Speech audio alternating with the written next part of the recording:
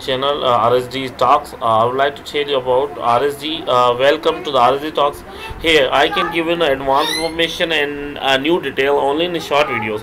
So uh, can learn uh, different things only uh, daily basis instead of in one pattern and uh, one idea. Actually, this RSD Talks give you chance to talk regarding any objects, anything uh, is you want. Here, uh, as you are looking that we are going to discuss about the mouse uh, technology change nowadays. It's a new term, uh, new uh, six segment, six button design uh, mouse here in front of you.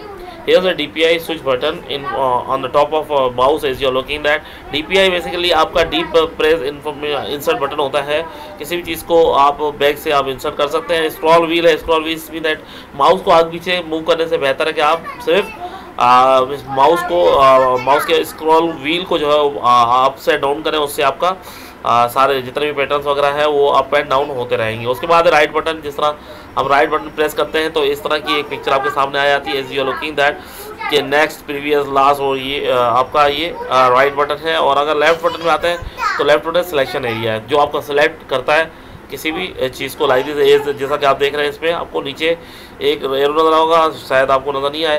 तो ये आपको बहुत अच्छा pattern बता रहे हैं और इसमें आप ये भी देख सकते हैं कि